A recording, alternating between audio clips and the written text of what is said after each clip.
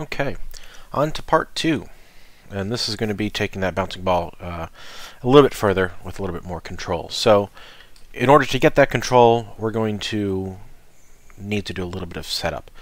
Um, this isn't really going to be creating a rig for it, because it's not going to use any armatures or any bones. Um, but it kind of is. We're just going to use some empties. So start, going to hit A to select everything. A, X, delete. I'm also going to turn on my screencast keys so you can see what I'm doing. There we go. Okay, we're done. Let's make sure those is on. Um, yeah, so first thing we need to do is add our sphere. So uh, 3D cursor is still in the center. If it isn't, hit Shift C. That'll center your cursor. Shift A, and we're going to add in a UV sphere. And so we're going to use, we're going to have translation, rotation, and scale on this sphere. And I'm going to shade it smooth. If I start rotating this, just double tap R, you can't really tell that it's rotating. So to fix that, just a couple of quick materials. Create a new material. I'm also, this is a new scene, we'll make sure I'm on cycles. Create a new material, set the base color, that's the only thing I'm going to change. Um, I know I've been doing a lot of pink and teal recently. Uh, but why stop now? Okay, so we'll start set the base color as that, and uh, I can either go into hit Z and go to Material Preview, or in Solid View I can just hover over the color, Control C to copy it, and then scroll down to my viewport display and paste it there. And now can see it in solid view as well. I don't usually do this, um, but in this instance it's helpful. Then I'm going to tab into edit mode, hit 1 to go into front view, and Z um, wireframe, and hit 3 to select faces, and I'll select middle faces. I'm going to hit the plus in the materials to add a new material slot like we did last week. New, and this will be that hot pink because I've been on an 80s kick recently, and why not? So I've got my hot pink base color. I'm going to copy that into my viewport display. Uh, tab back into object mode, Z to go into solid view. And I forgot to do one thing.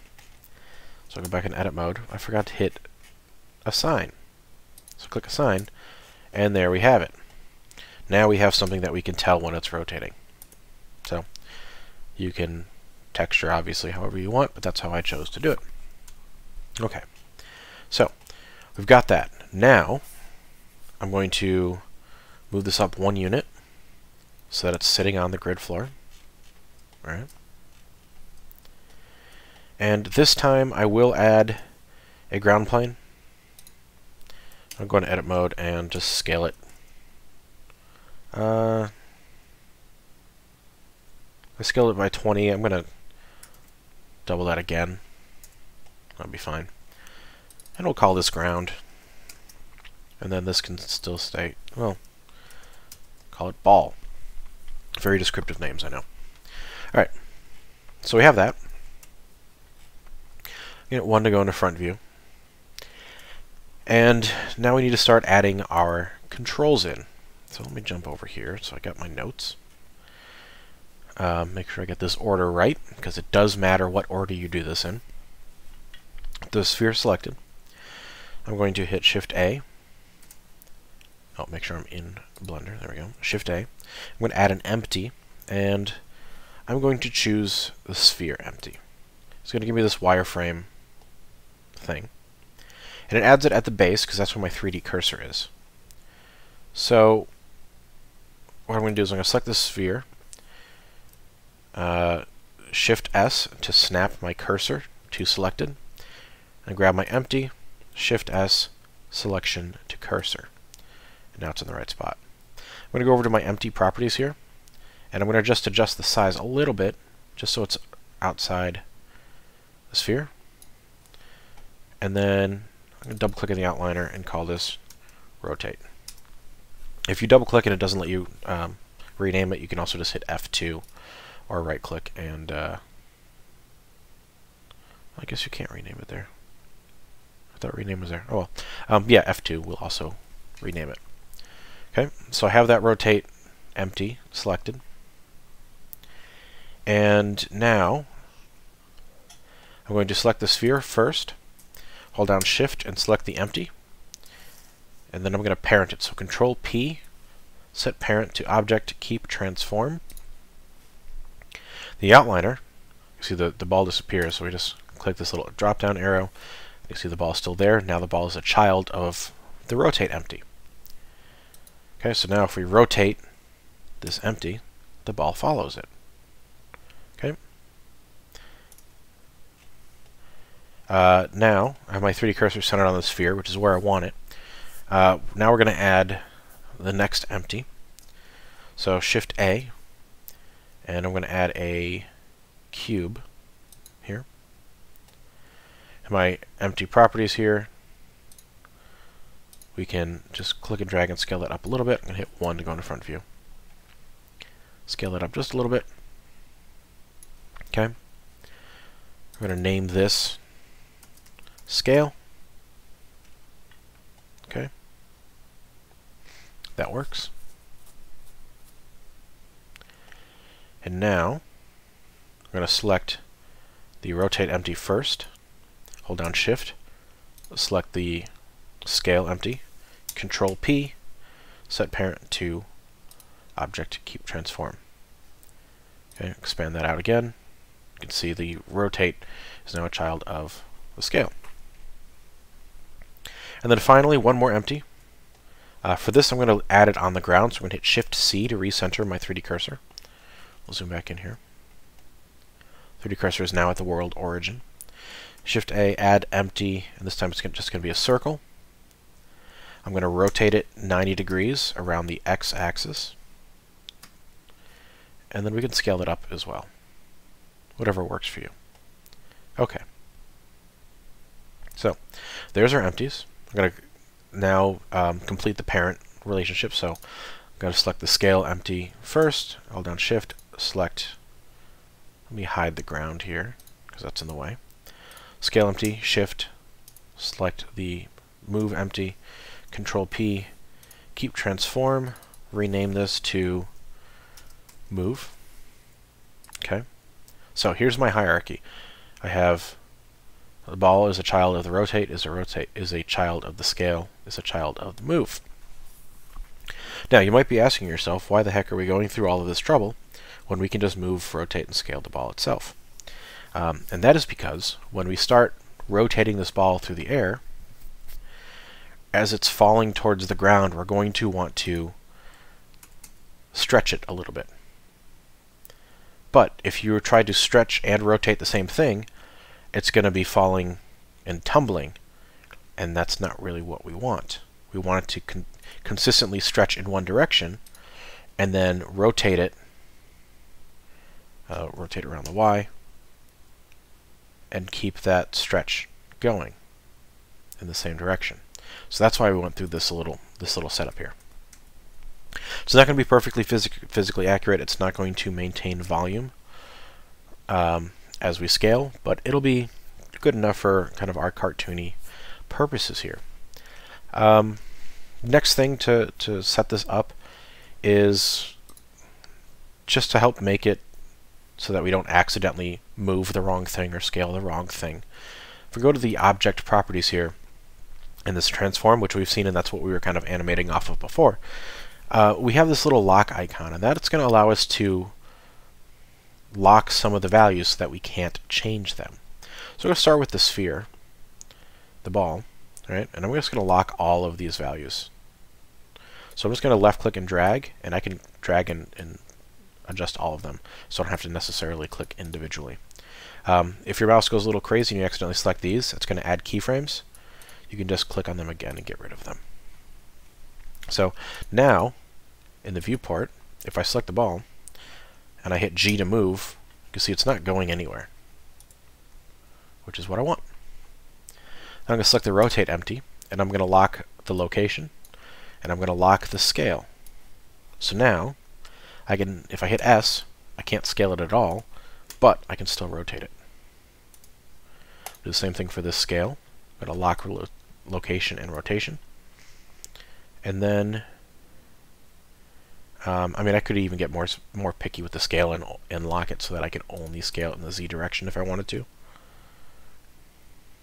Um, it's up to you. Maybe I'll keep it on. Um, that's yeah. It just depends on how limiting you want to be. And then we have the move. So we can lock rotation and scale and just focus on location for that. Okay. Okay. Uh, at this point, I'm going to save this. We'll call this Bouncing Ball Demo 2. Click Save. Get one to go into front view. And we can start blocking in our animation. This is going to start much the same way that we did the last one. Uh, I am going to temporarily hide the scale and the rotate. I'm just going to worry about the move at this point. Okay. So, uh, I'll move my view over here, and we're going to start at 10. I'm going to hit, uh, we'll just turn on our automatic keyframes, and I'll hit I and add a location keyframe. There we go. So I had to, after I turned on auto keyframe, I still had to hit I and, and add a keyframe because once I turned on auto keyframing, I hadn't moved it yet. I moved it before, and it didn't count that until I turned it on. So that's why I had to manually add that first keyframe. So that's in my starting point at frame one. I'm going to move, I'm just going to go 10 frames at a time right now and this is going to move down or it's going to move over and it's going to move down so let's go and we'll say maybe four units over once I get it in position I can fine tune it and set dial in Z, Z to zero so I know it's on the ground. Although we want to add some squash and stretch and when it hits the ground obviously it's going to squash um, actually so I was going to say, we can just move this below the ground, and then when we start squashing it, we'll squash it so that, if I turn my scale back on, we can scale it down until that's sitting on the ground here, right? And that definitely works. That um, There's no reason why that wouldn't work. Uh, but what I was thinking is instead of it squashing to the center, set this back to zero. I turn the scale back on. With my, um, I'm going to turn off auto keyframing here for a second. I don't think it's going to mess anything up, but I want to take a chance. With my move empty selected, I'm going to hit Shift S and snap my cursor to the selected. Okay, now I'm going to select my scale empty. Go to Object, Set Origin to 3D Cursor. And, uh, did that work? It didn't seem to work. I wonder... I wonder if it needs to not be apparent.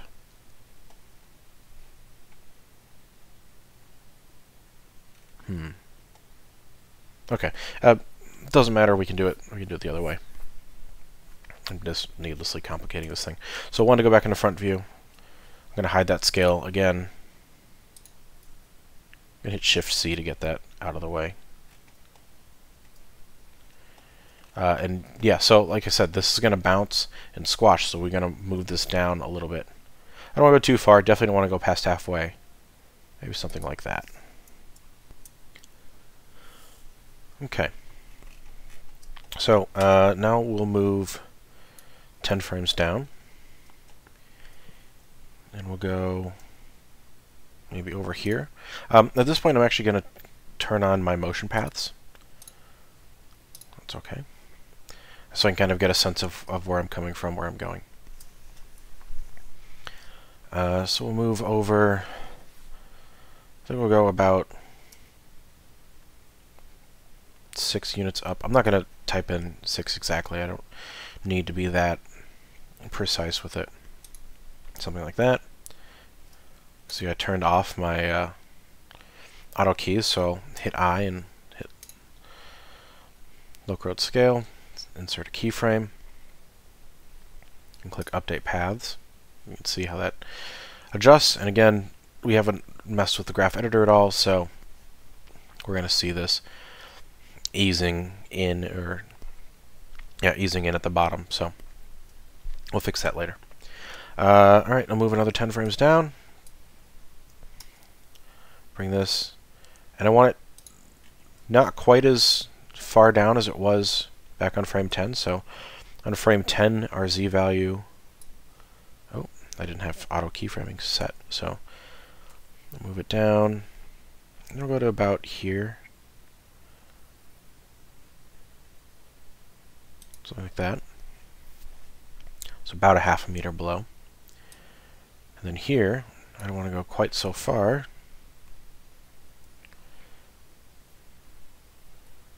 I'll go to about 0.3. Something like that I think will work. Alright, we'll keep going. 10 more frames. And we'll go something like that. 10 more frames.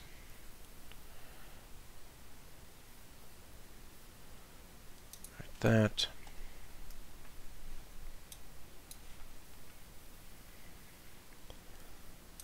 That. Oh.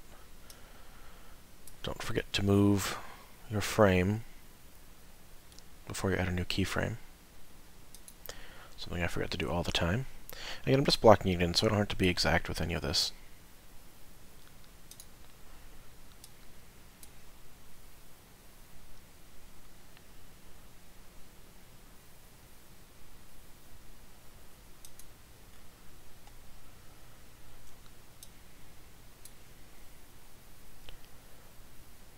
Something like that.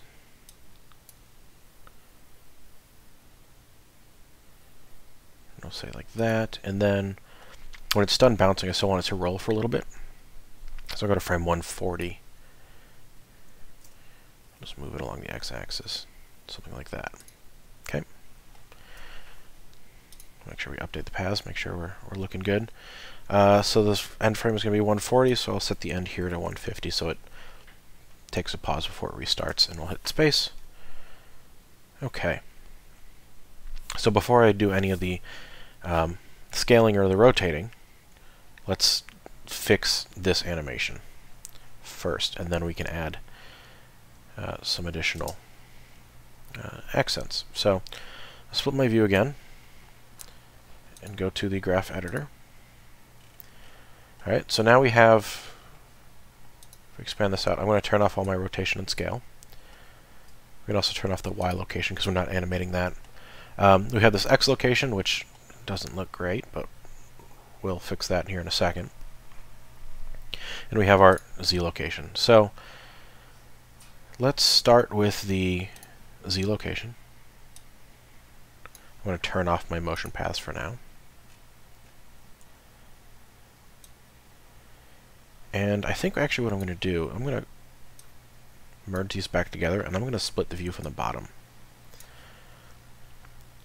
And so from here, I'll set this to the graph editor. Just kind of works a little bit better for what we're doing. And so we can kind of play this back and see, make sure that we're going to see the whole thing, and we are. We are. Okay. So the first thing, uh, same thing that we did before, is I want to select all of these bottom keyframes, and I'm going to hit V and set the handle type to free. Okay, so now what I can do is go in and start playing with the curves and get something that is a little bit more realistic. See, this needs to move up just a little bit more. Move this one over to about here. And there.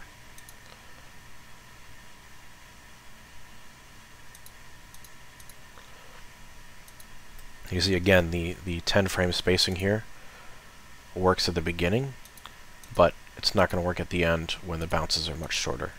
It shouldn't take the same amount of time to bounce this much as it does to bounce this much.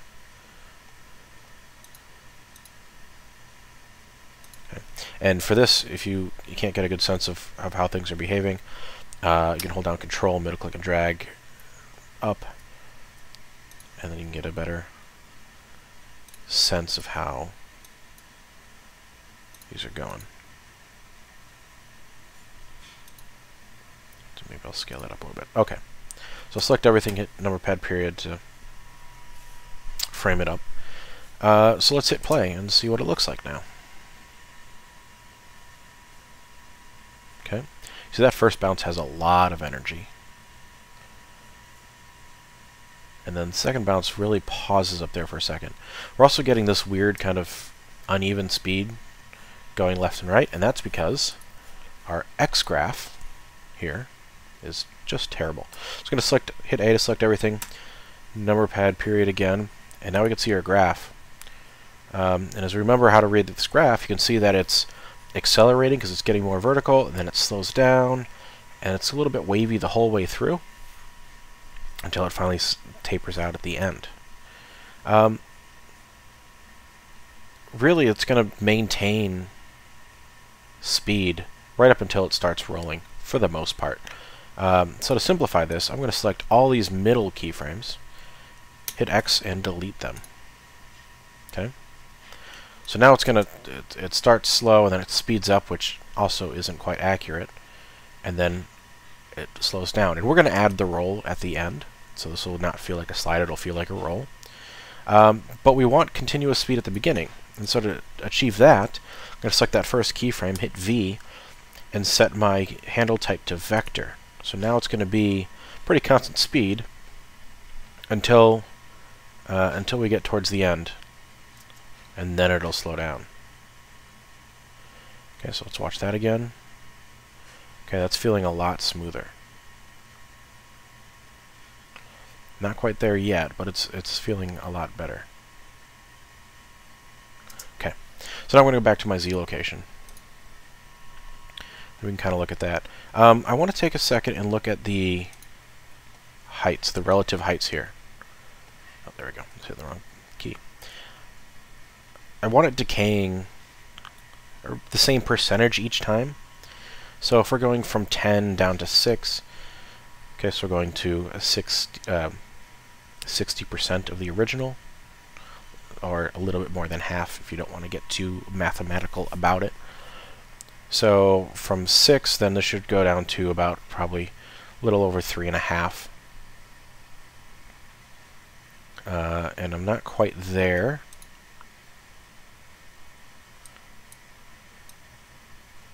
So if I left click and drag from the timeline and bring it down, I can kind of see where I'm at. But I want to go, to hit G to move this keyframe, and then a Y to just move it vertically. I'm going to move it. I'm keeping an eye over on the right side of my uh, frame in the in the object properties. I'm going to go to about three and a half or so, maybe 3.4. Okay. So this is what I'm keeping an eye on for my values. And then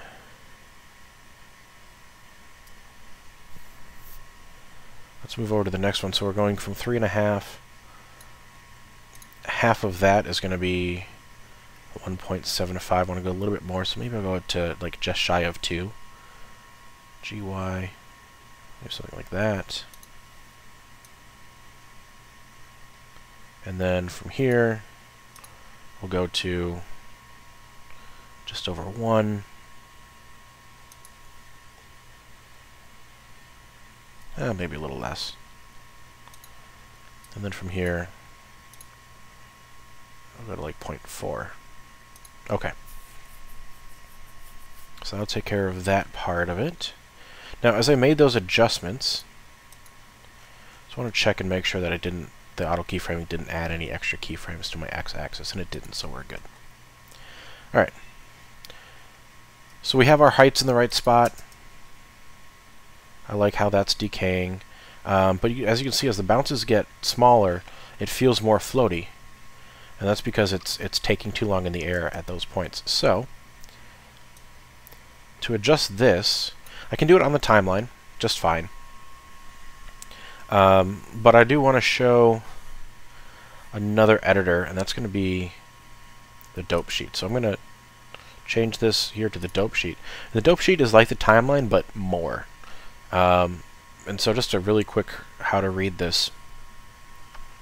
We have the summary, and the summary is, is basically the timeline. It's if there's a keyframe for any object in your scene, anything at all, uh, it'll show up here in the summary. And then below that, in this, it's a hierarchy. It's like the outliner, kind of. We have the move object, which is the object that I have selected. And then the move object, we have actions. You can have multiple actions, um, animation actions for an object. We're not going to worry about that. Uh, but in that action, we have these transforms. And then if I expand that out, you can see my x, my y, my z values, and everything else. Okay, so if you wanted to, um, you know, only move the keyframes for the, let me deselect, only move the, the keyframes for the Z rotation, you can do that. And when I select those, you can see that it's also selecting these keyframes because it's it's selecting it's basically telling me that I'm selecting something that is in the move object that is in the summary. So if I want to select everything, I can just click on the summary on the top level, or I can get really specific about what I'm selecting. Okay. Now, what I want to do here, I, I feel pretty good about the first couple of bounces, but I think around here is where it starts to feel slow. Yeah, I think 30 to 50 is when it first starts to feel kind of slow. So one thing that I can try is I'm going to select all of these keyframes. Let's click and drag across. And I'm only uh, excuse me, only clicked and dragged across the summary because that will select everything below it. And I'm going to, with my playhead at 30, I'm going to hit S to scale, and it's going to scale towards that playhead. If you remember, the closer two keyframes are together, the faster that transition happens, the faster that animation happens. The further apart, the slower it is. So I want to speed it up. So I'm going to scale it down. Uh, let's go to like there, maybe. We'll see how that feels. There's going to be a lot of kind of making adjustments, playing it back, seeing how it feels. Actually, I think that was pretty good. One, two, three. Okay, so I think even the third one feels pretty good. Um, but these can probably scale in a little bit more. So we'll scale those a little bit further.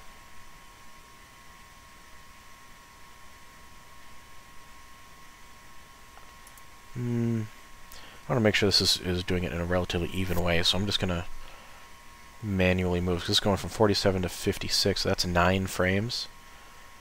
47, 56. And then it's 56 to 64, so that's only 8 frames. So I'm going to move this one 2. Okay, so now it's 47 to 54. That's 7 frames. And then I'm going to move all of these just 1. So now that gap from 54 to 61 is also 7 frames. We'll play that back, see how that feels.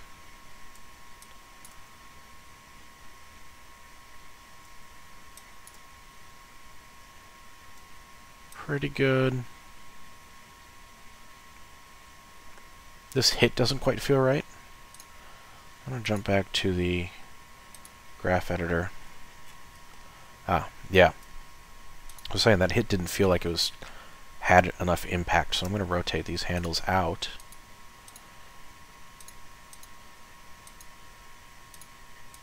Try to give that more impact. Now, I still need to adjust the timing on those. But while I'm here, I'll take a look at these as well. Okay. We'll jump back to the dope sheet. And you can you can split your view multiple times um, and have kind of everything there. I'm just jumping back and forth between the graph editor and the dope sheet here, just to keep the interface a little bit simpler for you, um, so you can see it and not get too overwhelmed with a bunch of different windows and menus open at, at any given time. So uh, these were seven frames. I'm going to go maybe, let's see what five frames looks like for the next gap. So from 61, that's going to be to 66 and then to 71 for these. Feels pretty good. And then I think we'll maybe go like, maybe we'll do like three frames here. So 71, so it's going to be 74. And then 77. I'm sorry, there's a little bit of math, but we'll get through it. Alright, so Alright, that looks alright. It probably use a little bit tweaking, but for the sake of this not being, hopefully, a full hour video, um, I think we'll move on. But we will jump back to the graph editor. And, okay, you can see our handles here are weird again. G to move this. I'm going to bring it down and out. And over. And again, I'm looking for a nice smooth arc there. And then this is just all sorts of a mess, so Bring that in there, and there. Okay, that's looking pretty good. Hit play one more time. At this point, our animation is ending about frame 102. So I'm going to change my end to 120. And then at the bottom here, the timeline, I'm going to grab this little handle here and drag that in and just expand it out so I can kind of zoom in on my timeline. Alright, and then shift left arrow to jump to the frame frame 1, hit spacebar. Yeah, that's feeling pretty good. Um, if I was being really picky, I'd probably add in one more micro bounce right here. But again, for the sake of time, I'm not going to. Um, so I'm, I'm happy with the move uh, animation. I'm going to hide that. I'm also going to hit save so I don't lose all of my hard work. And my computer will think about it for a minute. For some reason. Probably because I'm screen recording. There it goes. Alright I will uh, I already hid my move controller. So now I'm going to turn on my scale. And we're going to start right here. So I'm going to select scale and what we want to do is, uh, if you remember with the scale, I've locked all of the transforms except for scaling in the z direction. So all I have to do is hit S and scale, and I'm just going to scale it down until the bottom of the sphere is on the ground. Okay? It automatically added a keyframe for me. Now, the problem is, that's the only keyframe I have. If I move back, you can see it starts squashed, and, it, and you know we'll make those adjustments later. But we don't want that. So I'm going to go back like three frames. We'll try three, we might make an adjustment. And I want to get rid of that scale. So I can either go over here to the properties, type in 1 and fix that, or go to Object, Clear, Scale. You see the shortcut there is Alt-S. So that's what I'm going to do. I'm going to hit Alt-S, clear that scale. It's going to set that keyframe And we can focus here just on the adjustments we're making. These aren't going to be very extreme adjustments, so we can zoom in here. Alright. So now, it's going to start at its normal shape. And then, when it hits the ground, it squashes. But, in the couple frames before it, it's squashing early. It's anticipating it in a way that we don't really want. Um, anticipation is a part of good animation. It's one of the 12 principles, but this isn't really how we want to anticipate it. So what I'm going to do is I'm going to jump back just one frame. And here, I'm going to scale it a little bit past 1. So it's going to stretch a little bit. Say maybe 1.2. Alright, it's going to feel a little bit cartoony, but it's going to help bring some life to it. Okay. So when we do that, zoom in here a little bit. And I'll go back to frame 1, and we'll hit play. Okay, so it's falling, it's falling, it's going to stretch a little bit as it picks up speed, and then right before it's, it's stretched, and the next frame it squashes into the ground. Okay, and then we need this to scale back up. And I'm going to go again past 1 a little bit. So 1.42. Okay, so not quite as stretched as it was before, but still pretty stretched. And then I'll go another two frames maybe, hit Alt S to clear the scale, so it's back to normal. Okay, so now I'm going to hit play. I'm going to turn off the, the manipulator here, so we can see that maybe a little bit better. It's it's very difficult to see. It's almost imperceptible, but you you feel it. You don't necessarily see it. So shift left arrow, go back to frame one. Okay. Uh, we can also try, if I go in here to my properties, I'm going to set the frame rate to a custom, we'll say 12 frames a second. I'm just going to slow it down a little bit so you can get a better sense of, of what that's doing. Okay. Now we can we can play around with this as as far as when that anticipation happens, when it starts changing. Um, we can try just to experiment. We can try moving this stretch frame, right, this frame, we can try moving this back, gx minus 1, move it back one frame, see how that feels. Uh, again, I'm going to go full screen. Oops, let me turn off the scale again. Shift left arrow to go to frame 1. Okay, that feels a little weird in uh, in full screen. Let's go back to 24 frames a second. Back to frame 1. I think it's probably anticipating a little too soon. But I know it's happening really fast and, and can be difficult to see. Again, it's, it's something that you kind of feel more than you necessarily directly observe. So I'll move that back over one.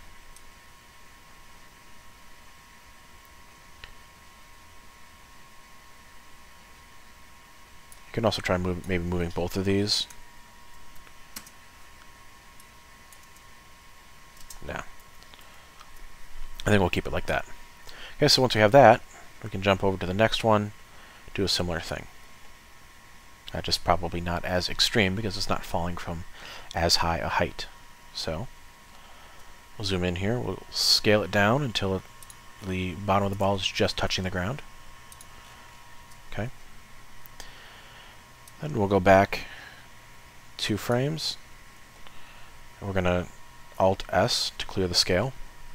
And I'll scale up just a little bit. Or go back here so I can see what my values are. And I can compare. I can see, okay, what was this stretching? This was stretching into 1.14, 1.19. So maybe like 1.12. Just a little bit. And I'll go two frames before that, Alt S and clear the scale.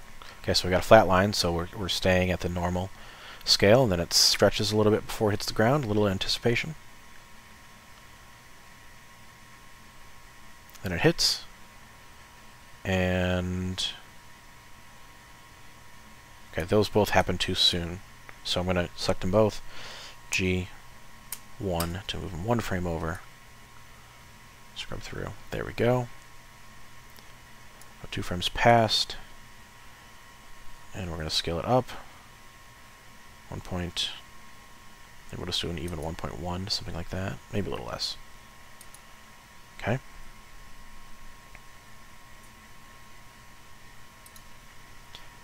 And then another couple of frames, Alt-S, clear the scale. Alright, so I'm going to pause it. I'm going to go through and, and do this for the rest of them. Uh, then we'll come back and uh, see the result. Okay, so I did the last uh, couple of bounces. The only real thing of note is that you can see uh, down here on the timeline the gaps between the keyframes got narrower. It's because again the bounce the bounces are shorter. Uh, there's less energy. The um, space between them doesn't need to be as long. So let's look at the result. I'll turn off my manipulator here, hit the space bar. Okay, that's feeling like it's got pretty good life to it. Again, you could exaggerate this even more if you wanted to go super cartoony with it. You could kind of dial it back. Um, all depends on what style you're going for, what the material is, um, all that. So, uh, we're pretty good with the scale. Uh, let's jump to uh, rotation. So I'll turn on my rotate handle. And this is a pretty easy one. We're more or less going to mirror the graph that we did for X translation, X move. So I'm going to go to frame 1. And I'll select that, or select my rotate empty. hit I set a rotation keyframe. And then we're going to go to our end frame, which if we can't remember what that is, um, we can just switch this to the dope sheet here real quick.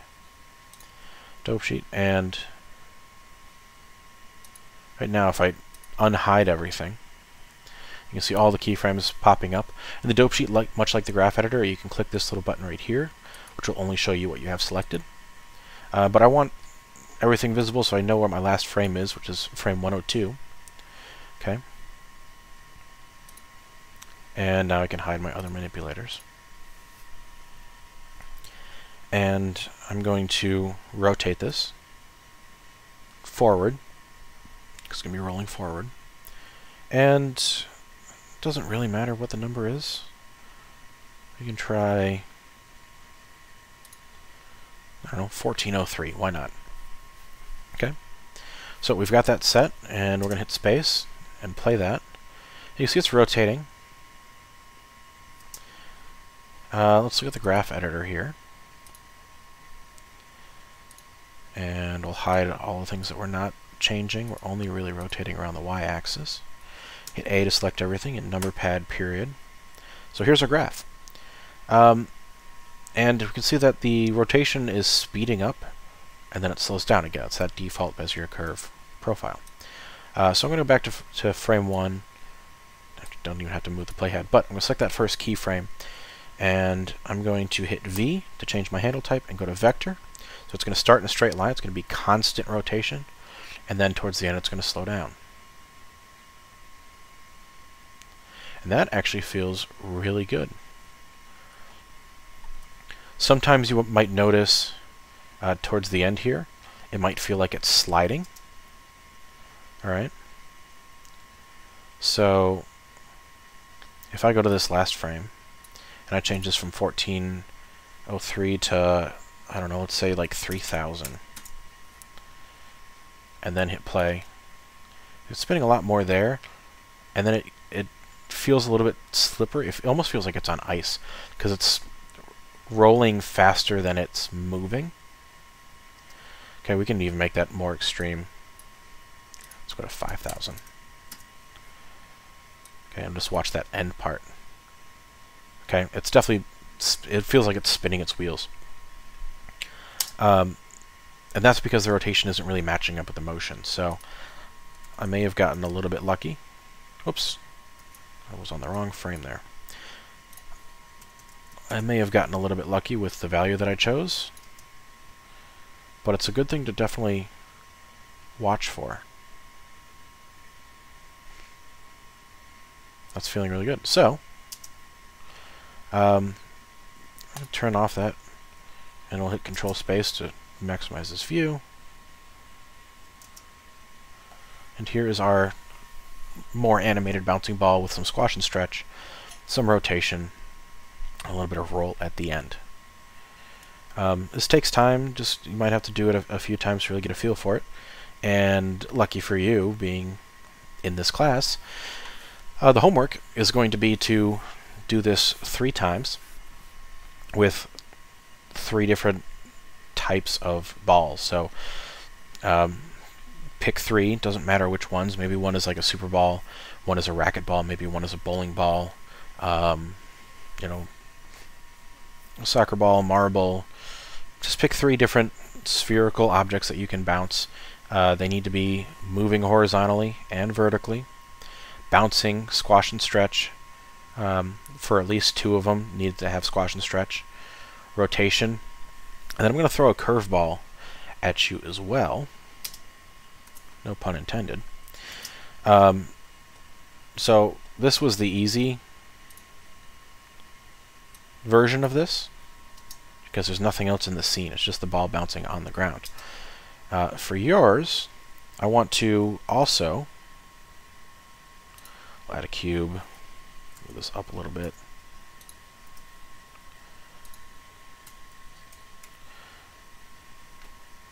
Okay. Oops. I want you to have a wall, and I want the ball to be bouncing off that wall. So, I'm going to save this again. I'm going to save this as a new version, just to kind of give you a quick idea of what I'm looking for. So, as this is bouncing, let's say on this second bounce, like right here, is maybe where it hits the wall. So I'm going to front view. Okay. So when when it hits the wall here, what happens? How is this going to behave?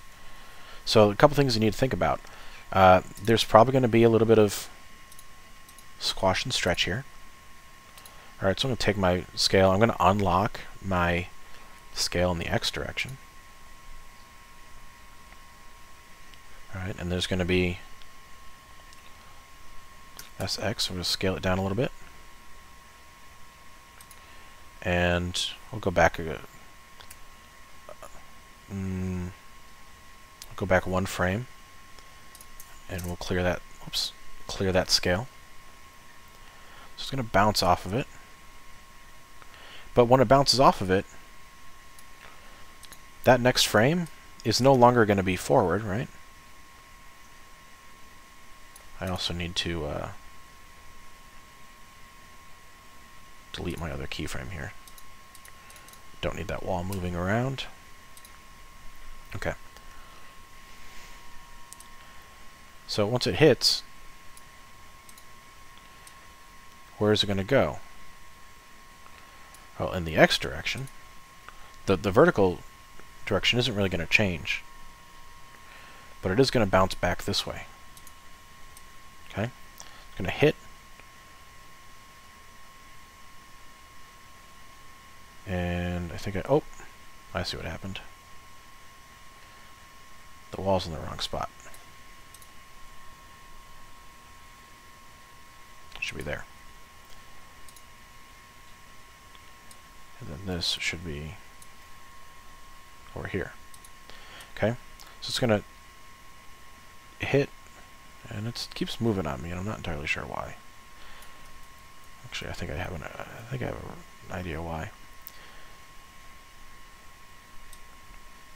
Probably easier to do this from scratch and not try to modify an existing animation. Because this should be here. Okay. There we go. It's going to hit. Right? Oh, that's the problem. I need to set a keyframe for it. Lo uh, location. There we go. And then it's going to bounce back. Okay? And so what you need to consider is how is this bounce going to affect the direction? All right, let me bring up my grease pencil. And bring up my grease pencil uh, options here somewhere. I never use a grease pencil. Um, we draw this in. Okay, so the ball's coming this way. I mean, eventually gravity's going to start taking it. It's going to hit the wall, and then it's going to bounce off. And it's going to bounce off. This angle here, if we draw kind of a line straight through, this and this are going to be the same angle. Or this angle and this angle are going to be the same. So if that ball is bouncing from this angle, okay, and let's say this is, I don't know, maybe it's 40 degrees. then it's going to bounce off. We'll kind of give an arrow here so we know which way it's going. Pardon my mouse drawing. I am too lazy to grab my tablet, which is sitting on the other side of my desk. Um, then this angle coming out is going to be 40 degrees as well. Now, it's not going to affect, this horizontal impact is not going to affect the speed that it's moving down. It's going to move down at the same rate of speed, but it's going to bounce off that way. It might affect how it rotates, um, or it might not. If it's a quick bounce, you might not notice, or maybe it bounces and it reverses the spin direction. Um, maybe if there's a lot of spin, maybe it does uh, bounce off a little bit more. But keep this in mind. Uh, look at reference videos. I'm not going to demonstrate this too much because I really want you to, to think about it and, and work through the issue. Um, and I'll, I'll do a, a write-up on D2L about that. So uh, let me know if you have any questions. Um, I hope this was informative. And then next week, we are going to move into some additional animation using uh, cameras, lights, and talking about constraints, animating along paths, um, animating with kind of targets, uh, and how that can apply to our um, product project that we have going on in the background. So uh, thanks and uh, good luck.